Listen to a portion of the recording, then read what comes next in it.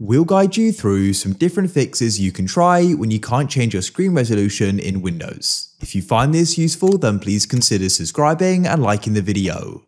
This problem can be super annoying, so when you come into your display settings and you then go and scroll down, you cannot go and change it.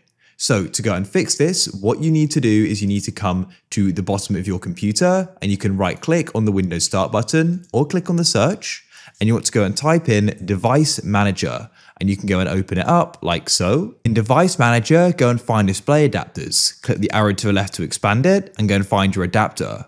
Yours may be called something different to mine, but don't worry. Right click on it and you want to click on Update Driver. Try doing an automatic search and if there's anything to install, let it install, it should automatically. After you've done that, you can come back to your display settings and see if you can then change the resolution. If you still can't, then what you want to do is come back here and you can go and right click on it again. Click on update driver and you want to click on a browse my computer for drivers and let me pick a list. And what you want to do is make sure you go and select the driver. So in this case, I'd go and select NVIDIA here and we can then go and press next. Now go and let it install. Your screen will go black during the process, but don't worry. They've now been installed and so what you can try doing is changing your display resolution and hopefully now you'll be able to. If you found this useful, then please consider subscribing and liking the video.